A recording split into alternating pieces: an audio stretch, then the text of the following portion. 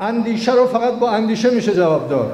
اندیشه رو با فیلتر کردن با بستن با جلوگیری کردن امکان نداره شما بتونید جلوشو بگیرید. وقتی تقاضا وجود داره جلو عرضه رو نمیشه گرفت. برای اینکه ما بتوانیم در این عرضه های متنوع با قدرت بیستیم باید جوانانی رو تربیت بکنیم و باورهایی رو درست بکنیم که این باورها در مقابل اون انحرافات با قدرت می و می‌تونن عمل بکنن.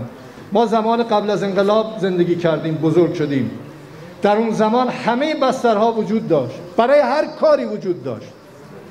ولی جوانایی که بودن و کسانی رو که به اصطلاح انقلاب کردن رو شما اگه برگردید نگاه بکنید اونا با قدرت در مقابل اون انحرافات می ایستادن و هیچ وقت به اون طرف نمی رفتن ساده بگم خدمت شما. دانشجو بودیم.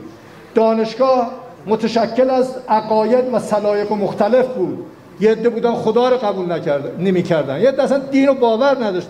ولی هیچ دانشجویی در هیچ دانشگاهی زمان شاه هیچ کدوم از این خواننده ها رو نمی‌تونستن بیارن که بخواد برای تو دانشگاه مثلا برنامه اجرا کنه.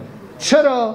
برای اینکه دانشجو فکر می‌کرد می‌خواد علم پیدا کنه مهارت پیدا بکنه فردا بیاد در جامعه خدمتگزار مردمش باشه. دانشجو به دنبال حل مشکل مردم بود نه به دنبال این که مثلا از این کارا بکنن. اعتقاد دارم این باور هست و اعتقاد هست. اگر جوانان ما داشته باشن فضای مجازی نمی‌تونه انحراف ایجاد بکنه و جلوگیری از فضای مجازی مشکل ما رو حل نمی‌کنه و امکان پذیر نیست. وقتی که خدا بیامرز همسرم بود ما دو تا دانشجو بودیم با هم زندگی می‌کردیم. علی که او جراحی می‌خوند منم جراحی. حالا از دوره دانشجویی با هم بودیم. و خب حین درس خوندن همراه و همیار هم دیگه بودیم. و با هم تمام این مسیر رو طی کردیم. و معتقد بودم همون موقع که خیلی ها می‌گفتن زنها نمی‌توانند کاری بکنن علا رقمی که چهار تا بچه داشتیم ایشون و من در برد کشوری جز نفرات برتر کشور شدیم. علا رقم این که چهار تا بچه داشتیم و باور داشتیم که می‌تونیم اگر با هم باشیم و در کنار هم باشیم. علا رقم این که چهار تا بچه داریم قادریم به بهترین نحو ممکن در بالاترین مدارج علمی قرار بگیریم.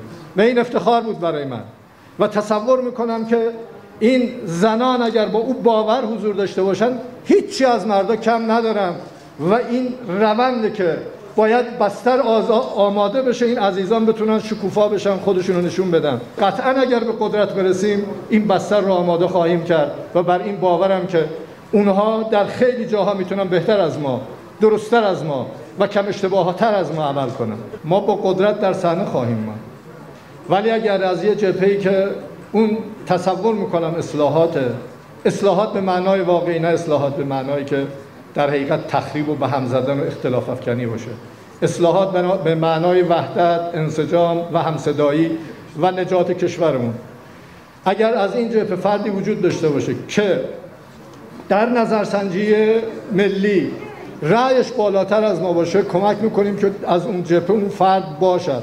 ولی تصور نمی‌کنم یه چنین چیزی اتفاق بیفته. من فکر می‌کنم و می‌توانیم این کار رو بکنیم این هست که اگر دو میلیون میلیاردی رو که الان در کشور همینجوری میدن یه عده آدمای پولدار توانمند استفاده می‌کنند و می‌خورن و اون وقت یه عده خانه ندارن یه عده مسکن ندارن یه عده مدرسهشون مشکل داره یه عده نون شب ندارن.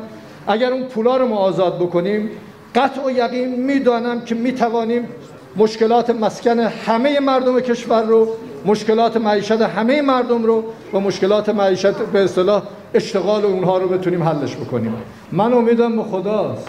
به اضافه اینکه اون نگاه ما و باور ما توده های مردمی که در حقیقت در رنجن در مشکلن و اگر من بتوانم صدای مظلومان بشم اگه بتونم درد اونا رو درک بکنم و اگه بتونم فریادرسی باشن و اونا باور کنن که ما به دنبال حل مشکلات اوناییم این مردم کل کشور ایران هستند که در جایی که حضور دارند و رنج دارند باور کنند ما مدافع حق و حقوق آنها خواهیم بود. چه کرد چه ترک چه بلوچ چه لور چه عرب و چه عجم